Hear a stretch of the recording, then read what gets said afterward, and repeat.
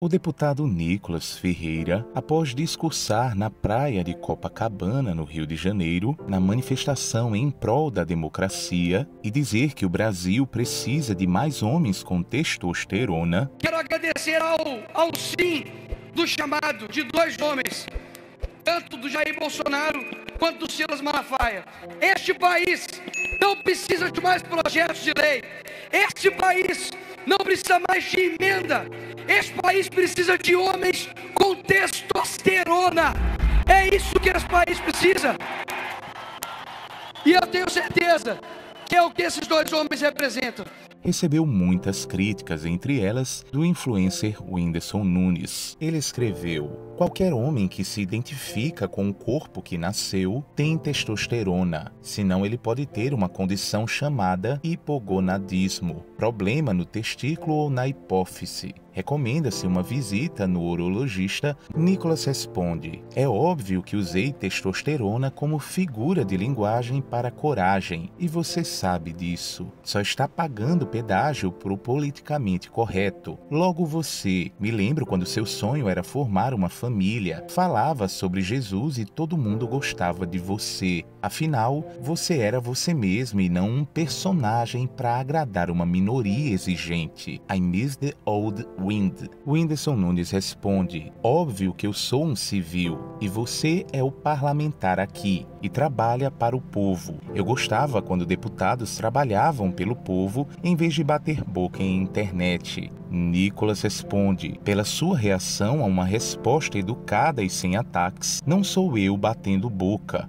O problema é que alguns se sentem à vontade para falar o que querem, mas não aguentam uma réplica simples, provando mais uma vez o meu ponto. E mais, acham que um parlamentar eleito pelo mesmo povo que os acompanha não pode falar. Deus te abençoe. O cantor Gessé Aguiar também responde um comentário do pastor Flávio Amaral. Ele diz: Querido pastores que me odeiam, eu nem sei se me odeiam por eu ser muito bom no que faço, graças a Deus, ou por conta da minha sexualidade, ou por quaisquer que sejam os motivos. Mas assim, tenham respeito pelo menos, já que noção hoje em dia está escassa. Mas respeitem as pessoas. Ser pastor te torna servo, ser pastor te torna porto seguro faz de você um lar para que os cansados e feridos se repousem. Se você não representa o apacentar de Cristo na terra, se nem respeito pelo ser humano você carrega, sinto em te dizer: você é só mais um, mais um aproveitador, mais um mentiroso e mais um que quer só aparecer na cena. Flávio Amaral, vou te dar um pouquinho de palco aqui para você sentir por algumas horas o que é ser relevante. Tem muita gente falando assim para mim, Jesse, ah, passado do tal pastor, né? O Zé Ruela aí que tava comentando baboseira. Ah, mas o passado dele e tal é assim, assim, assado. Ah, mas ele é ex não sei o que. Ah, mas ele fez tal coisa. Gente, vamos lá. Eu me igualaria demais a ele se eu fosse lá no passado dele, trouxesse pro presente e invalidasse tudo, sabe? É, aquilo que ele disse por conta do passado dele. Isso não cabe a mim. Isso não cabe a nós. Nunca coube, sabe, julgar isso. É, eu acho um absurdo até a gente, quando as pessoas falam, né, do passado das pessoas, passado esse que essas pessoas já se desapegaram, já entra a questão da empatia. Mas o que eu quero que as pessoas se atentem é só a parada do respeito. Independente se hoje ele é ex alguma coisa, ou se ele é um pastor, ou se. Cara, ele precisa respeitar o outro, independente do que ele acredita, do que ele é. E, cara, não combina Jesus com desrespeito, cristianismo com desrespeito. E quando eu falo desrespeito, é desrespeito ao próximo. É quando você ofende, sabe? É quando você não é humano, é quando você sabe o que você está falando, sabe que isso vai afetar o outro e você vai lá e faz. Nós somos mensageiros de uma mensagem cheia de luz. Nós somos pessoas que precisamos trazer para as pessoas o quanto Jesus é maravilhoso, o quanto ele é acolhedor, o quanto ele não rejeita, o quanto ele abraça, o quanto ele te ama, o quanto ele cuida das pessoas. Jesus é uma pessoa tão amorosa, Jesus é uma pessoa tão doce. E eu quero que as pessoas cheguem lá nesse conteúdo, no, onde eu tô cantando sobre ele.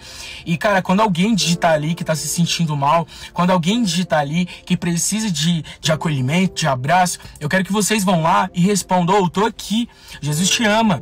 Sabe? Não é você simplesmente chegar lá e deixe lá seu ódiozinho baseado no que você acredita, sabe? E fica por isso mesmo, ao invés de você levar a mensagem, você tá levantando um muro e me atrapalhando. Você tá me atrapalhando, você tá entendendo? Ao me deparar com um vídeo de Gessera Aguiar cantando, eu sempre acompanhava os seus vídeos. E ao ver ele entortando a boquinha dele, com aquelas dezenas de, de filtro em seu rosto, e cantando músicas, canções evangélicas de uma maneira muito sensual, eu critiquei. Muito gay. Muito triste. Sem nenhuma unção. Por que, Gessé Aguiar? Você achou falta de respeito eu te chamar de muito gay? Você deveria achar que era um elogio, já que vocês sentem tanto orgulho dessa vida. Olha quem me pediu respeito, me chamando de Zé Ruela. E apaguei o comentário porque foram 136 ataques desrespeitosos do seu público. Sem noção é você. Sem respeito nenhum é sua galerinha do amor. Pois o seu pecado mudou de nome, não é verdade, Jesse Aguiar? O seu pecado virou amor. E você está na igreja cantando e pastores amassageando, amassageando o seu ego. Diferente de mim que te falei a verdade. Esses pastores não querem sua salvação. Esses pastores não estão se preocupando com você. Pois pastor de verdade fala a verdade. Eu te disse a verdade. Você acha que eu não te amo? Você acha que eu te odeio? De maneira nenhuma. Eu peço a Deus todos os dias de se aguiar para você voltar para Jesus, negar a si mesmo. Pois esse Jesus que você diz, que prega, diz na Bíblia: negue-se a si mesmo. Nasça de novo da água e do Espírito. O que é respeitar para você, Gessé Aguiar? É mentir para você? É passar a mão na sua cabeça e dizer que você está correto? O que é respeitar para você, Gessé Aguiar?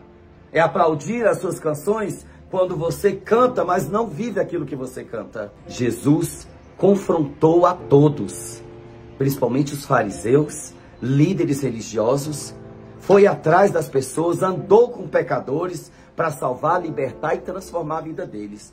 Jesus nunca compactuaria com a tua vida. Porque cantar é fácil, difícil é viver o que canta. Pregar é fácil, difícil é viver o que prega. Viu, Gessé Aguiar? Você está muito longe de Jesus. Você está completamente enganado com a sua vida. E enganando a muitos, mas a Deus ninguém engana. E a verdadeira igreja não está aplaudindo você, não.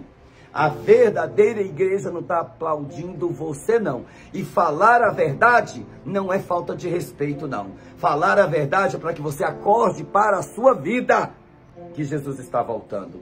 Fica na paz do Senhor, Gessé Aguiar se cuida. Eu estou orando por você. Amo a sua vida. Quem ama, fala a verdade. Quem ama, prega a verdade. Um dia eu creio que você será verdadeiramente libertos, liberto por Deus. Olá pessoal, eu sou Alexandre do canal Cristão Também Pensa. Estou aqui com meu irmão em Cristo, Tom Dimas Torres, que pode ajudar você a ganhar dinheiro na internet, não é isso, Tom? É isso mesmo, é uma honra poder vir aqui no canal, Alexandre. E você que está assistindo o vídeo e acompanhando o canal, clica no primeiro link de comentário fixado, me chama no meu WhatsApp porque eu vou abençoar a sua vida com um mini curso gratuito para mostrar o caminho certo para você utilizar a internet para você fazer uma renda extra.